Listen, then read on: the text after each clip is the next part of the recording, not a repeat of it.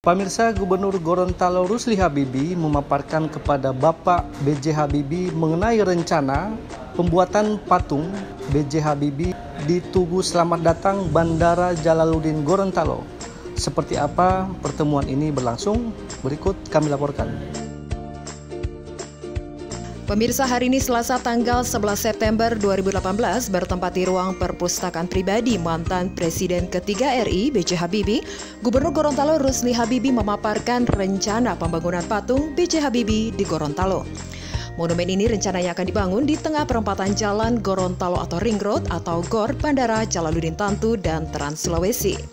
Gubernur Gorontalo Rusdi Habibie dalam keterangan persnya mengatakan setelah nama Profesor B.J. Habibie dijadikan nama Universitas Negeri di Gorontalo, kali ini beliau mengusulkan kembali Monumen B.J. Habibie dibangun di Gorontalo. Dikarenakan B.J. Habibie adalah berdarah asli Gorontalo. Berikut ungkapannya. Nah, seperti yang dijelaskan Pak Habibie tadi, ada satu perusahaan atau satu perguruan tinggi di Jerman yang sangat terkemuka itu akan membantu Pak Habibie. Tapi tentunya mereka melalui eh, di Habibie Center. Kenapa di Habibie Center? Karena mungkin mereka lihat Habibie pernah di Jerman lama, sangat diyakini oleh masyarakat Jerman, terutama para pejabat di sana, dan juga sangat konsisten dalam rangka uh, bangun sumber daya manusia.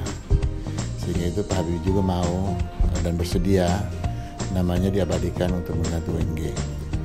Hari ini kami saya dampingan di Sekdan dan SPU rekan-rekan yang juga tokoh masyarakat, tokoh adat dan pemangku adat seluruh provinsi Gorontalo berjumpa beliau untuk menjelaskan rencana pembangunan patung B.J. Habibie. Kenapa ini terjadi?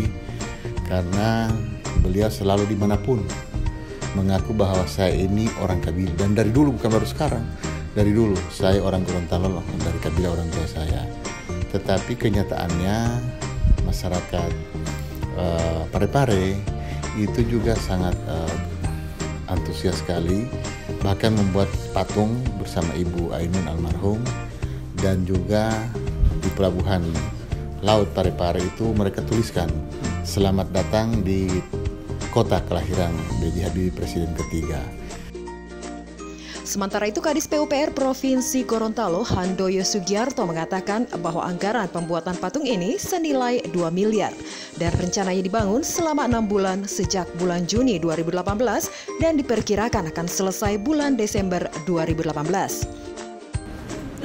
Nah, pelaksanaan pembuatan patung direncanakan akhir Desember selesai.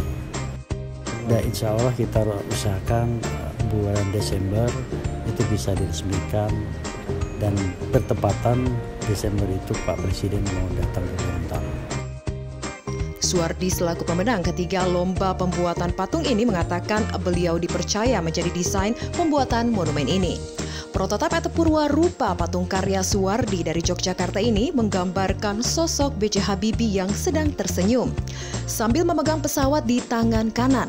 Berikut ungkapannya kepada Suara Jakarta uh, sebenarnya di kita itu sebenarnya pemenang uh, nomor tiga begitu ya.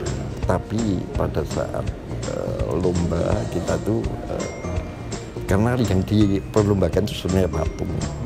Jadi kita kita waktu itu memberikan beberapa alternatif miniatur patung.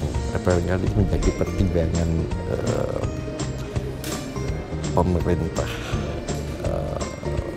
daerah kita sebagai pelaksana. Pemirsa, menurut Kamus Wikipedia Indonesia, monumen adalah jenis bangunan yang dibuat untuk memperingati seseorang atau peristiwa yang dianggap penting oleh suatu kelompok sosial sebagai bagian dari peringatan kejadian pada masa lalu. Patung B.J. Habibie di Gorontalo adalah representatif untuk itu. Linggo, Rais Kamali, Vera Katili, Suara Jakarta. Pemirsa, demikian laporan kami dari kediaman Bapak B.J. Habibie, Patra Kuningan, Jakarta. Saya Rais Kamali Suar Jakarta. Kita kembali ke Gorontalo.